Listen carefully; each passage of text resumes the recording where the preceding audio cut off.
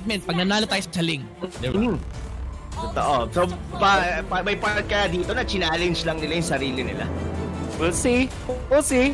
Season 3 champs going up against Season 4 champs. Hopefully, we get to Game 4. But let's focus on Game 3 with Rob Luna and Midnight bringing you the action. Yes! So, we're back, mga kaibigan. It's gonna be a match point dito. This might be the last time na makikita natin for the uh, MPL Champion Invitational and Season 3. If they could not be able to force a Game 4, uh, of course, Midnight, what do you think dito sa draft natin? Masyado nating mahabang pinag-uusapan. Pero, ang mata ko dito, nakatingin na naman kay Rio ang league. Oo. Uh, yun nga, nakakuha na ng first blood na naman, no? Again, it's the signature of Season 3 champions. Kung mm-hmm. usapang draft, I think very viable talaga ang Ling when it comes to 1-3-1 meta. Pero I think the reason why they buffed up uh they ble, they buffed up the Ling on this patch kasi ina-expect ni Munton no with the nerf on the masks and how the economy works as uh, oh. Jeff forever takes uh, Uranus down on the top lane. By the way, halos wala nakakatalo sa 1v1 sa kay Angela.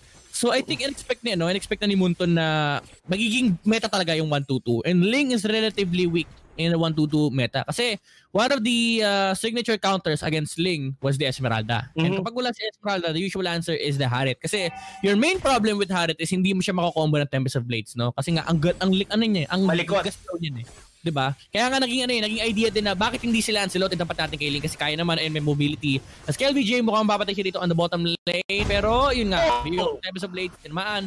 KLVJ taking down Damasha. Oh, uh, grabe naman si Rapisha. Nagpapakita rito top lane, no? And Jeff Forever will most likely fall to the Harit with the Summon Force, commi- uh, Summon Force committed by JP. Yes, definitely. Pero dito, Lusty trying to hold on dito sa turret dito nung Angela and hindi pa rin makakapag-push. Meanwhile, out to the bottom lane, Fusakin dito nangangali pero Revitalize is being pop. Pero habol dito, Kel VJ tumatakbo, takbo, takbo na rin dito. Kilowatt going out and that's gonna be the end of the skirmish mga kaibigan. And going back lang, medyo maganda naging start dito ng Season 3 champion. And gaya nga ng sabi mo, totoo at naniniwala ako yung Angela ang hirap labanan in terms of the 1v1.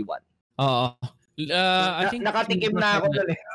Oh, I think si Rafaela lang yung may fair chance or actually di ko di ko pa alam yung ano na yun, yung matchup na yun, no. Mm-hmm. Uh, pero kill mo siya na bottom lane. Flicker oh! out. Kasi BK pero the Zaman Force is gonna be committed by the Harit to secure the kill on the show. And si Jeff, Jeff Kitty Forever yung susunod, no? Gusto niya sana protektahan yung tropa niya. Unfortunately, wala silang panlaban kay JP. Oh! Overall, oh. way, wala pa silang panlaban kay Harit in the specific game. J in the middle lane is being uh, ganked by four heroes of Season 4 champions pero napakitang ultimate mula kay Atas. Unfortunately, siya naman yung tinamaan ng pana pero meron namang flicker out sila. Siniligtas niya lang yung tropa niya rito. No? Si Rio naman yung susunod na kalaban, wala nang ultimate. Yung mga, actually may ultimate pa pala, no? Ayan, nilapag na nga ni JP, pinakita niya na examine force. Will most likely fall and that is gonna be another kill for JP. One kill for the entirety of that skirmish, no? 30 to 1 30 seconds to 1 minute nangyari, si Ling lang yung namatay. Ang masama nun, si Ling pa yung namatay. Oo. Oh, oh, Sana binigyan na si Lasty. Kasi ano, si uh, Jay. Totoo, totoo yun. Hindi rin kasi nagkaroon ng synchronization in terms dun sa fatal links doon ni Lasty. Medyo napaaga, pero ito na nga, si Jay yung dito mukhang tatamaan ng pana, pero hindi tatama. Pero habol pa dito, apat na miyembro na Season 4 will be taking down Jay, and this might be an easy turtle para sa kanila.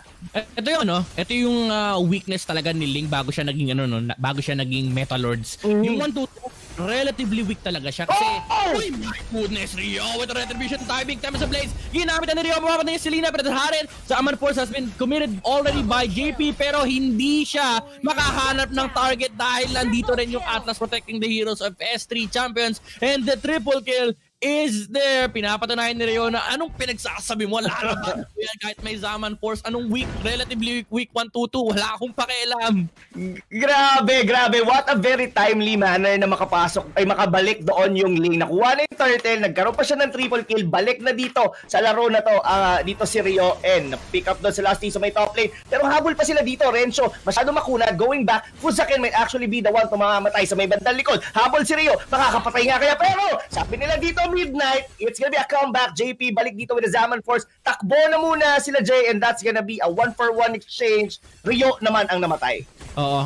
At dito mo mararamdaman yung kahinaan talaga ng uh, ng Ling against 122 kasi essentially dalawa yung course no. The reason why Ling was the strongest assassin nung 131 kasi kaya niyang patayin lahat ng funnel. Oo. kahit si Claude, kahit si Lee, ay si Kari kaya niyang patayin yan. Pero if you're faced against two cores, no, problem laki problema niyan. And mind you, kailangan pang isipin si Uranus, si Masha, and si Basha, lahat which is lahat ng yan kayang tapatan din yung Ling, no? So if ever man mag-snowball si Ling dito, kaya niya namang mga burst down. They definitely have the win condition in uh, winning this game. Kapag nag-snowball si Rio, that's a very big condition for S3 champions. They need to have a very good game on Rio on this Ling. Pero again, you're faced with two cores. And usapang two cores, no? JP on the bottom lane, already committing the Zaman Naku! cores, pero mapapatay si ni Kelby, ni uh, ni Rio, si KLBG on the backlines. Pero again, you're faced with so many enemies. Mapapatay ni Selena. Si uh, Ling dito, no, with the sustain Oh, that came nice. out from Pusakin on the revitalized Rafflesia. Grabe naman, dumata moves. Only dashes mukha yung Selena. Kulang sa mana. Nakakuha tinatarget yan on the Atlas. The ultimate, wala pang ultimate sila si Rito, no. Wala siyang may kakasa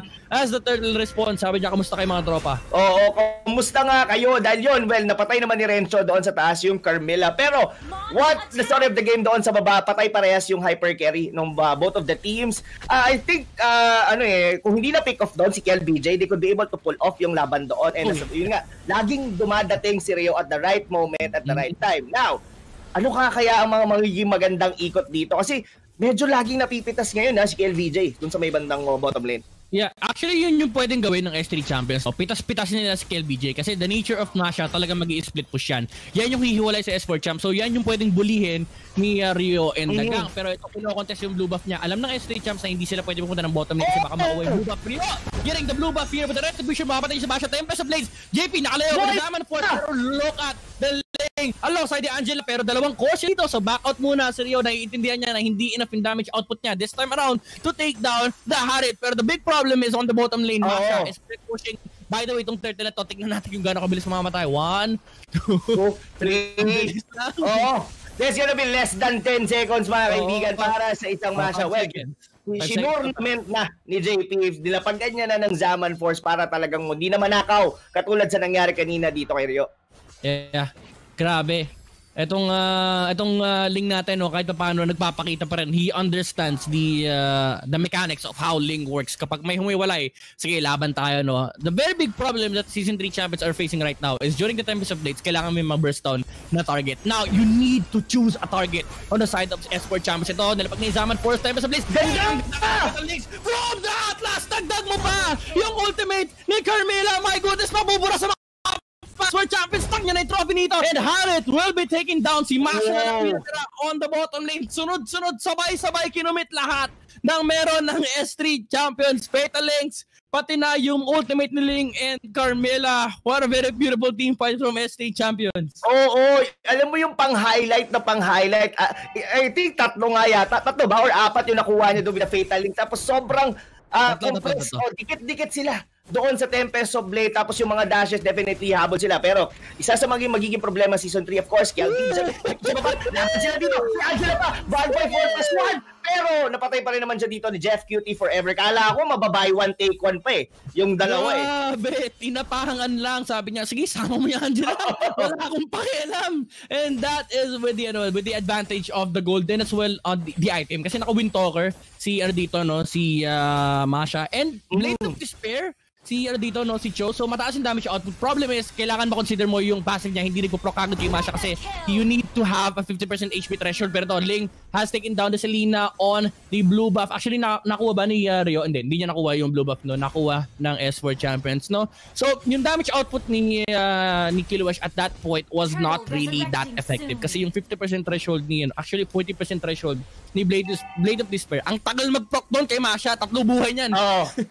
Parang ang hirap time, I mean, uh, timing. Pero to, Winter Truncheon, the pop dito ni JP, pero habol pa dito. Lusty, kahit mag-isa dito yung ating uh, Harit, eh, kailangan gamitin yung Fatal Links. Look at the Tempest of Blades, mga kaibigan, dalawa, paparating sila dito. The show is actually going down. So, yung talikod, Kem J, no, kinakalmot, kalmot, even the Angela, that's gonna be a two double kill. Habol sila rito, pala, tumama. Dito kay Lusty, flicker out, mga kaibigan. Nanggigigil na rito, season 4 champions, chasing in, going in. Habol pa sila dito, yung pala, medyo nabintes, but Jay will be the one to die dito, mga kaibigan. And that's gonna be a 2-4, actually, a 3-4-1 exchange. Mukhang mababasag yung tore dito sa itaas. Grabe, alam mo yung players natin, habol na habol, pero yung cameraman din natin, habol na habol. Pati bottom lane, tinignan niya, sabi niya, baka may laban doon. Pero to, I, I mean, Lord will now be the first primary objective of Season 4 Champions after that team fight. Alam nila na itong Lord na to, malaking bagay to. Imagine, a Lord going inside the base of S3 champs alongside the Harit with the Zaman Force. Although nakakatakot pa rin yung teamfight oh. capability ng Ling at ng uh, Atlas, you need to connect everything to have a decent chance. And mind you, yung Season 4 champions, yung nature nila is nagdidikit din talaga sila. So again, yung advantage nang gagaling doon. Pero the very big problem that they will be facing is the damage output. Enough ba yung damage output nila in a pro team fight? And Jay dito, mukhang mapipitas na yung Carmilla natin. And Season 4 champions, they are gonna be fighting with the Lord with a man advantage as Jay will respond for the ne- in the next 25 seconds. Oo, at may tier 1, well, I mean, at least may level 1 lord pa dito na manggagaling sa top lane. Ah, medyo yung, balikan natin team fight na yun, no? Pero, ay yung patigas. Pero mamaya na, dahil yung Zaman Force nila, pag naagad dito ni JP sa gitna, gusto na nila kaagad pasagin. Pero dito papasok, naghahanap sila dito ng tamang opportunity to use the penalty. Pero wala siyang flicker. Yun na nga, ang ginagawa dito, season 3, hindi yata nila madedepensahan at tagwa 1v1 pa sila Kiel VJ, hindi niya pinapauwi dito si Rio with the main damage dealer ng Season 3. The Lord, boy by Lord, and Kilo. By the way, meron tayong Masha rito na naghihintay lang ng reset ng kanyang HP. The Lord will be slain. Pero round 2 for season jump, season 4 champions, Kilo Watch, nakahuli niya si Reggie rito. No? Pero the bigger problem is the Harit. With Zaman Force, hindi kaya labanan ni Rio. Last, wala ng boy dito nung nagamit na rin yung flicker and ultimate. Oh, and wala oh my God. Side. Sustain is there from the Basha. Makapatay nila si Renji rito, no? pero it's just the Uranus every important course on the side of Season 4 champions are still alive. Raflisha, kasama na rin yung Selena, JP Nazaman 4, sinahabon niya si JFK Forever, Kilowatt, ginamit na C-Pop, and the Winter Truncheon is there, pero nasa maling pwesto siya, walang minion wave to protect him from the tower, and Rio, he is chasing out outside the base para makahabol siya ng kill dito. Oh, oh my God! Sexy yung sumariyaw, tatignan pa niya Selena! Mapapagdagan sila dito! Mania! For the live, my goodness! Oh my God, that's gonna be a maniac. Pero the story of that fight, mga kaibigan, is yung pangungulit ni Kel VJ kay Rio. That's the reason na hindi nakapagdepensa ng maigi yung season 3 uh, in terms of the middle lane as, as well dun sa top lane hanggang sa nabasag na rin yung ibaba. Uh, somehow, may 10 seconds na death timer pa naman dito for the rest of Season 4 champs. And I guess hindi pa naman sila agad maiisang diretso dito. Pero ngayon, wala nang inhibitor turrets dito ang Season 3 at mahihirapan na sila dito na makadepensa. Gra- Rio, balik ka na! Grabe yun!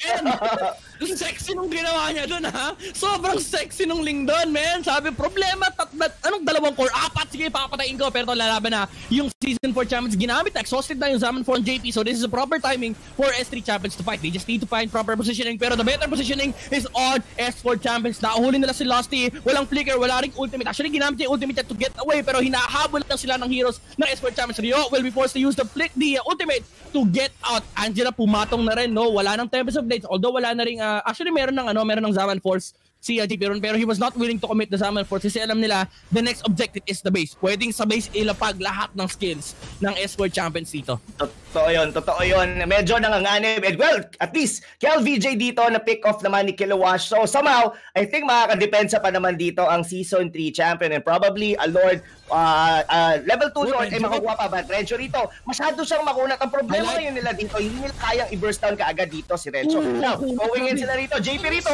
medyo Zaman Force sila pag pero Crystal Links, eto na. Focus na natin dito si JP. Gonna be the Madness Stealer. Pero buhay pa din. Bumabalik pa pati ang buhay niya. Raflisha will be taken down by Rio. Kaya pa nga Kilowash will be down mga kaibigan. Rio sa may gilid. Naghahanap lang na mapapatay with the Angela na kasama niya dito. Jay, out na muna. Oh my God, that's gonna be a 2 exit. Zaman Force. The, yung si JP nakamit ng transfer mapapatay siya niling dito no? Alongside the Times of Blades nakahuli siya Mira nyo very nice catch. At nakita niya okay wala kang Zaman Force. Sige papatamaan kita no knock up ng Tempest of Blades. Hindi nakapag-refresh ng Chrono Dash. Si JP on the backlines very beautiful play from Rio. Nagbubuhat yung champion natin mga kaibigan. Oh, And sino, hindi pa tapos, hinahabol niya yung Masha! dito out sa place. Problema niya sa Masha. The damage is here. Pero meron siyang patakbo alongside the sustain from the Angela. Buhay pa rin ang pag-asa ng S3 champions. JP, he thought na tapos na. Kaya niya sana labanan. Unfortunately, hindi nag-refresh yung Chrono Dash and nahuli siya sa may backline. The Winter Truncheon actually worked against him mm-hmm. kasi hindi hindi siya nakahit eh. So hindi siya nakatakbo kay Link. Totoo. And there's medyo mapapansin na rin natin dito na medyo kinakapos na in terms of the damage dito ang Season 4 champion. And mapapansin mo even Lusty talagang fino-focus niya na lang si JP kahit mag-isa kasi once na natanggal mo sa equation dito ang Harit, sobrang madali na yung magiging ikot dito ni Rio in terms of killing everyone para sa side ng Season 4 champs. Oo, isolated lang talaga, isolated targets yung hinahanap ni Rio, no? Very Mm. well commended nga yung team fight na yun. Even though he was losing his teammates, inuna niyang patayin yung si Lina kasi alam Mm. magiging malaking problema yung si Lina kapag napatay na yung Atlas kasi wala na siyang kampe, wala na siyang maaasahan. So he, fa- he fought the one hero that can actually take him down on the next succeeding team fights, no? So that was a very beautiful decision from Rio. Unfortunately, this time around, mananakawan siya ng blue buff. I believe, na-retry ba niya? That is the question. Ayun, na-retry niya. Grabe naman si Rio. Ito, nagdikit-dikit na naman yung apat, pero na-ultimate na ni Jay yung apat dito, no? Pero walang follow-up, walang Nako! ultimate. Si Lasty, nako po! Yung Rio dito, no? Kakayanin pa ba niya? Pumatong na si Angela. The added sustain is there, pero the base is Kilowash! very much open for Esport Champions to actually end the game this time around. Si Kilowash buhay pa na sa may bandang likuran pero Jeff Curie forever will be forced to flicker out Rio. Clearing up the minion wave. Walang, walang minions ang Esport Champions dito, no? Sila naman ang walang minions. Wala nga- well, meron na sila dito sa may bottom lane. It's just gonna be a matter of time lang. Pero buhay pa dito. Si Rio just trying to target yung mga minions dahil mapapamatay pa siya. Pero that's gonna be the end of it mga kaibigan. It's because 3-0, what a clean sweep dito para sa ating Season 4 champions. Grabe, ito na yung masasabi mo, I did my best. But Oo. my best wasn't good, good enough. enough. Oo, totoo. Si Rio, no, even though it, this was a very clean game from Sun, ah, very clean series from Sun, uh, S4 Champions, no, 3-0, iba pa rin yung display na pinakita ng S3 Champions, specifically